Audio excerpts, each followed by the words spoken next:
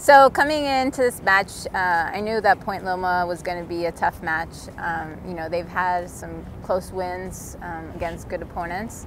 Um, so I knew coming in we had to have a fast start. Um, the girls started pretty slow. You know, I think it was a little bit of the nerves kicking in.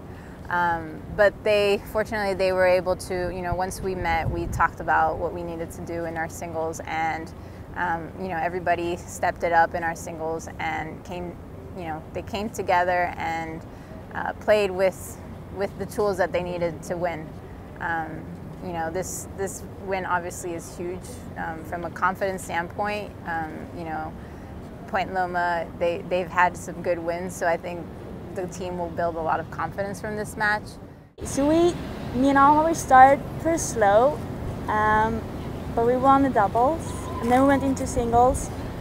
I got a really good start.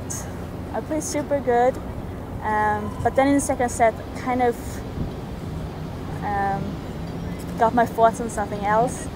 But then in the end, I came back and I did super good drop shots.